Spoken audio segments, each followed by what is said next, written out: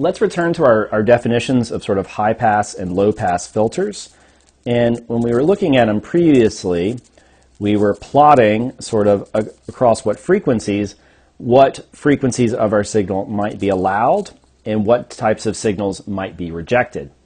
And for this particular signal here, we would say in an ideal world, everything less than our corner frequency would be allowed, and things greater than our corner frequency would be rejected. And it's really the transfer function that gives us this ability. So if we were to analyze the mathematical expression of a filter, we would be looking at what happens to the transfer function as frequencies change. And so for this range of frequencies here, our transfer function would be 1. And then once we pass the corner frequency, in an ideal world, we would want our transfer function to be 0. Because if we recall, our output is equal to the magnitude of our transfer function and the phase function with our input signal.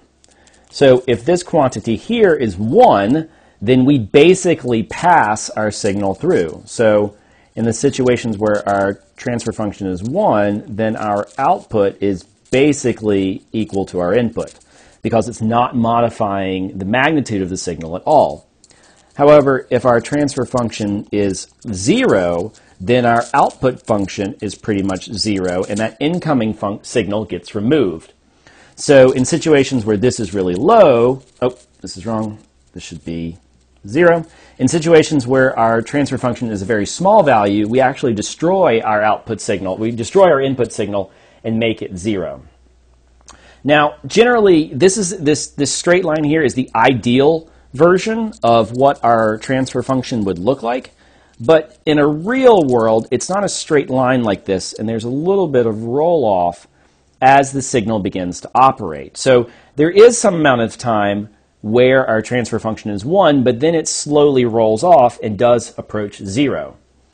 And there is the definition of the corner frequency is the point during this. So the corner frequency is the point in all of this where the signal itself is at 70% of its magnitude. So our corner frequency, so if we have our transfer function and I put in the corner frequency, that means when our original signal is going to be at 70% of its magnitude. So if I have a signal that's coming in at 1 volt, at the, trans at the point of the corner frequency, it should be at 0.707 volts. So this straight line behavior here is sort of our ideal value of our transfer function, but actually it, it rolls off more and has a longer tail. We will still say that, that signals over here are rejected and signals over here are allowed, but it's not going to be our nice just straight line. We're still going to let through little bits of our signal well past the transfer function, or well past the corner frequency. And, and the sharpness of this curve here is called the roll off. So in a perfect world, we'd have perfect roll off, and this would be a straight line. But given the way our circuits are constructed, this curve here may have a long tail, and that's what we'll consider our roll-off. And the sharper a roll-off is, the more discriminating a filter is, and the, and the more responsive it is to removing those excessive frequencies.